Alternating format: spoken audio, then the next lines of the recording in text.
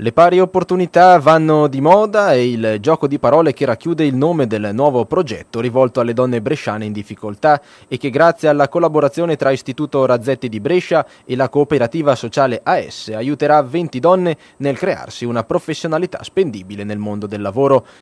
Noi cerchiamo di sciogliere i nodi che impediscono a queste donne di entrare e poi di mantenere un lavoro, che è uno dei problemi che eh, rileviamo quotidianamente. Eh, quindi affianchiamo eh, una parte strettamente operativa con una parte che è più di eh, così, presa di visione della storia, eh, di quelle che sono davvero le difficoltà dentro e fuori la famiglia, dentro e fuori il mondo del lavoro, la custodia dei figli, tutto quello che è la conciliazione dei tempi che se è molto complicata per una donna italiana lo è ancora di più per una straniera. Noi ne avremo eh, sia le une che le altre perché i curriculum sono molto misti. Grazie a figure professionali e competenti le donne, tra cui anche alcuni casi segnalati dai servizi sociali del comune, riceveranno in una prima fase del corso un insegnamento generale sulle tecniche di sartoria. Una seconda fase più specifica sarà invece dedicata a sei donne selezionate, di cui tre avranno la possibilità di essere inserite con un contratto di lavoro all'interno della sartoria in gestione alla cooperativa AS.